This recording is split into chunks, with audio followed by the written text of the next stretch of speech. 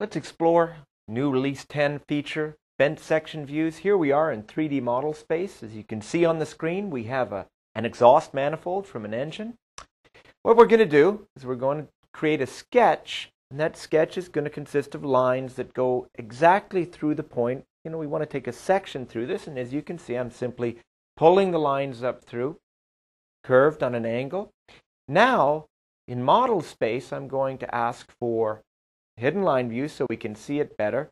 And I want to simply see the section curves that that sketch would create as it slices up through the part.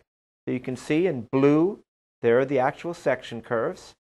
Okay? Using that mouse, uh, the uh, 3D space mouse to wheel in and wheel out. Now we're going to go on to a drawing. Simply lay out, watch this, we're going to take the assembly or the exhaust assembly, lay it out on a drawing. There you can see hidden line. And now there it automatically knew what 3D bent sections were available. Automatic cross-hatching, that's a pretty cool new feature. Very useful for those in design.